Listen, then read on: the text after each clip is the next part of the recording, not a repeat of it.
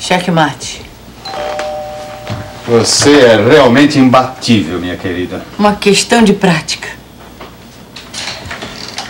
Sai da minha frente, quero falar com o bote. Parício! Que invasão é esta? Senta aqui, seu caricão medonho. Chegou a hora de nós resolvermos nossas desavenças de uma vez por todas. Agora! Já!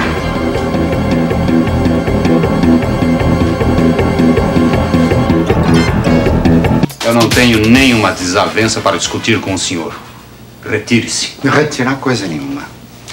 Você quer se vingar de mim, Ashit Kalux? Porque há 34 anos eu entreguei você à polícia. Eu não sei do que o senhor está falando. E não conheço nenhum Ashit Kalux. É, a- Aparício, deve ser alguma confusão. Confusão, coisa nenhuma. E a senhora não se meta. Oh, Aparício, que modos, hein? Modos muito mais delicados do que vocês estão usando comigo. Por que você quer se vingar de mim se ele vir me agradecer? O que que você era há 34 anos, Ashid? Um trambiqueiro sem eira nem beira. Um ladrão, é verdade. Um assassino com várias mortes nas costas, é verdade. Mas você era um trambiqueiro pé de chinelo. Agora você é um bandido rico, cheio do dinheiro, controla várias empresas, como você mesmo falou. Você devia me agradecer e não querer se vingar de mim. Se você tivesse casado com Teodora, você tinha passado 34 anos sofrendo humilhações. E hoje você seria o quê? O dono de uma tecelagem. Uma tecelagem importante, tá certo? Uma tecelagem rica e importante. Mas uma só. O que, que significa uma tecelagem diante dos bens que você armazenou durante a sua vida toda de, de falcatruas e crimes? Que o senhor ponha-se daqui para fora. Só depois de eu dizer tudo o que eu queria. Eu até admito que você seja cego e não perceba a vantagem que você levou perdendo o casamento com Teodora. Eu já disse para o senhor sair.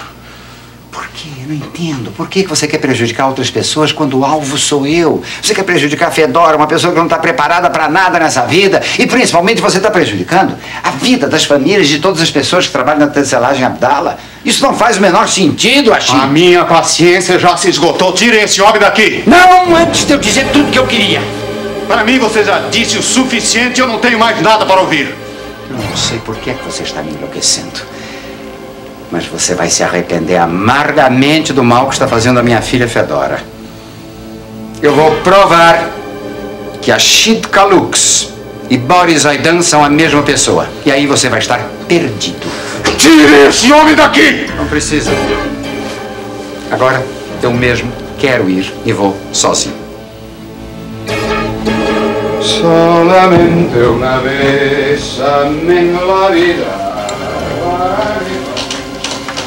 Ô, Boris, puxa, nunca pensei que Aparício tivesse coragem pra tanto. Ele jamais vai conseguir provar que um dia eu fui a Shid Lucas. Jamais!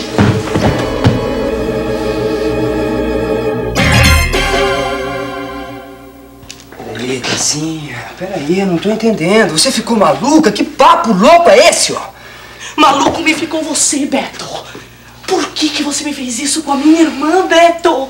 Ela me destruiu a vida da gente, ela me é uma peste. Você me vai ter um filho Mas, com ela, mas, que, Beto. mas que filho, Tassinha? Mas que, que- mas que história maluca é essa de filho? Ah, você não sabe? Não, não sei. Claro que você sabe. Claro, não se faz de tonto. Você acha o quê, Beto?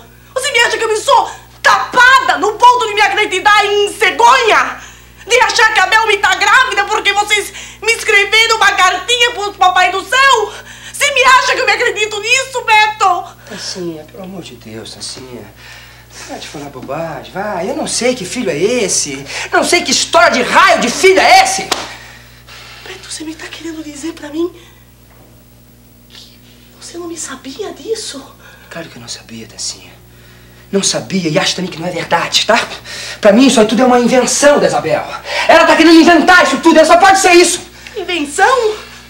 Mas por que, que ela ia inventar tudo isso se ela já me tava namorando com você? Ela não tá namorando comigo, Tassinha.